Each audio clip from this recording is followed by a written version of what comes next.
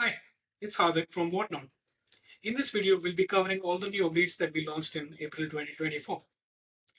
The first update is support for streaming responses. So if you've already been using WotNot, you're quite familiar with the HTTP request block. Now we have added a new block which supports streaming responses.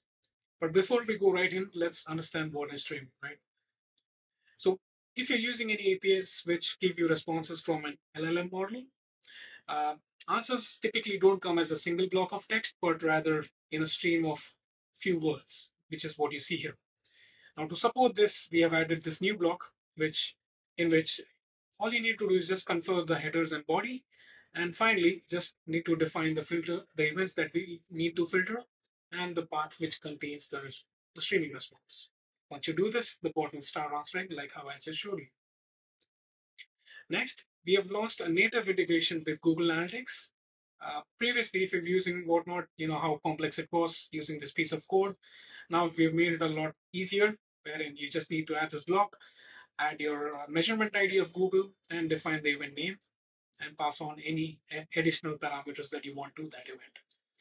So whenever the flow passes this block, it will fire that event with these values as you mentioned here we launched support for keyword filtering. So if you're using SMS or WhatsApp bots within WotNot, you can now define uh, rules that when certain keywords are entered by the visitors, it triggers different bots.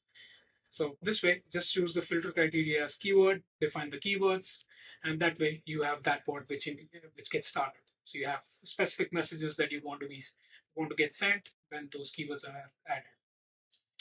And lastly, when these keywords are uh, added, we have also now added support for contact subscription. So for compliance purposes, it becomes really important that when keywords like stop and subscribe are given by users, you don't send them any additional messages. So that's what this does. So when someone is unsubscribed, they don't receive any future uh, messages. And likewise, you can do the same thing for subscription as well. Well, those are the updates we had in April.